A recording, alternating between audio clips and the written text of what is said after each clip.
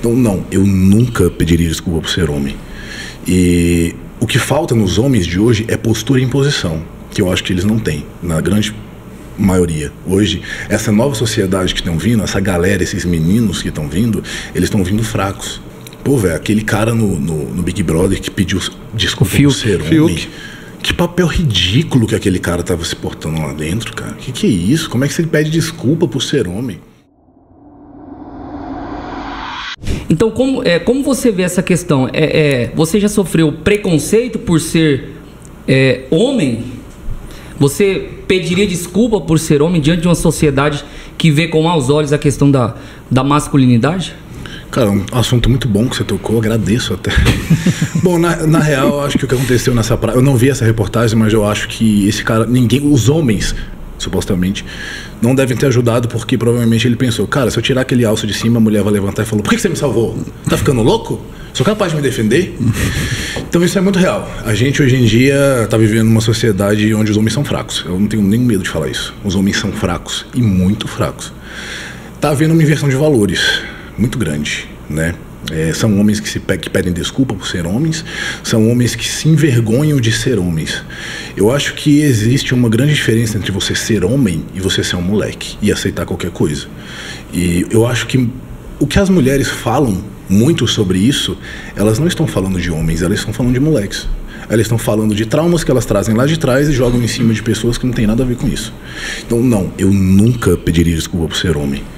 E o que falta nos homens de hoje é postura e imposição, que eu acho que eles não têm, na grande maioria. Hoje, essa nova sociedade que estão vindo, essa galera, esses meninos que estão vindo, eles estão vindo fracos demais. E eles deixam qualquer pessoa apontar o dedo na cara deles e falar: oh, você não é isso, você não é isso, você não é isso. E eles aceitam esse desculpa. Tá bom, desculpa por ser homem. E não é assim que funciona, cara. Eu, eu, eu, parto da premissa que o homem, sim, ele é protetor, o homem, sim, ele é provedor. E isso, em nenhum momento, desqualifica a mulher. Você não estou falando que a mulher não tem que ser a provedora, claro que ela tem. Quantas mulheres solteiras que vivem, criam famílias, pô, existem por aí? São fortes demais. Mas isso não tira o mérito do que o homem também tem que ser forte. O homem, geneticamente falando, ele é mais forte que a mulher. Geneticamente falando, o homem tem que proteger sim a mulher. Pô, cara, imagina, você tá na rua, você vê uma mulher sendo agredida por um cara três vezes maior que ela, você vai ficar parado. Ninguém vai fazer nada. Eu sei. Muita gente vai falar, cara, você não sabe se aquele cara tá armado e não sei o quê. Meu irmão, faz o seu trabalho, né? Defende. O cara vem e mete a mão na sua esposa.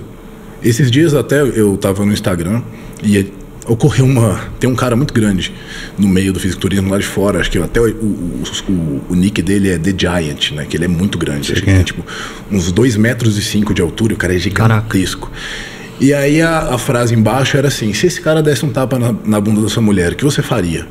Aí eu fui ver os comentários embaixo, um monte, ah, eu saía correndo. ah, eu dava benção para ele e perguntava se ele queria levar ela para casa. Hum. Aí eu escrevi, não, tinha duas chances. Ou ele saía morto ou eu saía morto. Exatamente. Só tem essa opção. Aí ele falou, nossa, você é corajoso, eu sou bastante. Não importa se o cara tem dois metros de altura ou tem um metro e cinquenta. Se ele mexer com a minha mulher na rua, ele tem que saber, ou com a minha filha, ele tem que saber que ou ele vai morrer ou, ou, ou eu vou morrer. Não existe outra opção. Então hoje os homens têm que parar com essa cultura de se enfraquecer perante qualquer coisa, cara. É, eu acho que muita uma outra parte que está acontecendo dentro da sociedade que a gente eu acho que estatisticamente nunca houve tanta traição da mulher em relação ao homem igual hoje. Outra cena que eu presenciei, eu achei um absurdo no Instagram, uma mulher filmando o próprio namorado e falando que ela odeia os homens, odeio homem, eu gosto de mulher e a única coisa que eu aceito é esse cara aqui na minha casa porque ele é legal. Cara, o que, que é isso? Com o cara ele aceitou. Presente. Com ele presente. Meu Deus. Era uma musiquinha, a tradução aparecendo embaixo e a pessoa filmando o cara. Uhum. Falei, cara, que sociedade é essa? Como é que o cara se aceita uma coisa dessa? Uhum. Isso é bizarro, cara. Isso é bizarro. Então, assim, voltando na parte da traição, por que, que a traição hoje está um, tanto em evidência da parte da mulher com o homem? Porque os homens estão fracos, os papéis se invertem. Uhum. A partir do momento que a mulher tem que tomar uma posição masculina, o homem toma qual posição? Feminina. Né? Pode ser a mulher mais forte que tem, cara. Pode ser a mulher mais independente que tem.